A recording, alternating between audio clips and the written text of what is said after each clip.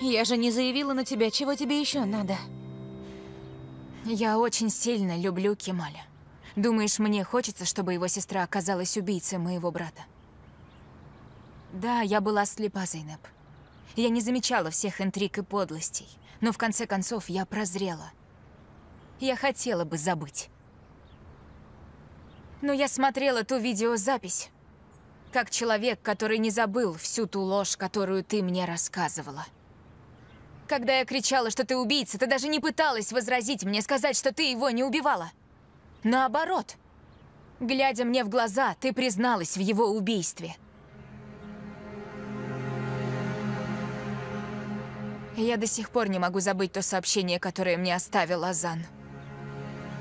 Мне надо выбраться отсюда, Нихан. Зайнаб... Знаешь, даже в том сообщении он говорил о тебе. Он узнал о твоей измене. Выходит, Зейнеп вышла за Азана, чтобы отомстить Эмиру. Азан верил в вашу любовь и брак, а ты ему изменяла. Нихан, прошу, хватит. Не надо. Вот. Видишь, в чем дело? Ты даже не можешь слушать о том, что натворила. А я смотрела, как ты убиваешь моего брата. Зачем ты убила его? Неужели, чтобы скрыть свою измену? А ты?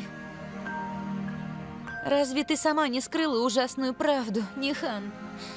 Пускай случайно, но твой брат убил человека. А ты скрыла. Ты не выдала его преступление. Да, ты права. Семь лет назад я совершила ужасную ошибку и поплатилась за это. К сожалению, прошлое не вернуть. И убийству нельзя найти оправдание. Поэтому я не буду объяснять тебе разницу между выстрелом из игрушечного пистолета и преднамеренным убийством. Да, я жестоко ошиблась. И до сих пор Эмир Косджоаглу держит меня в заложниках. Но я наконец-то нашла верный путь, Зейнеп. И больше с него не сбиваюсь. И если хочешь изменить свою жизнь, пожалуйста, живи по правде. Сейчас придет Кемаль и задаст тебе вопросы. Прошу тебя, расскажи ему все честно.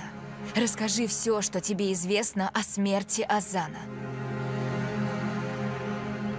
Сделай это ради себя. Не ради меня.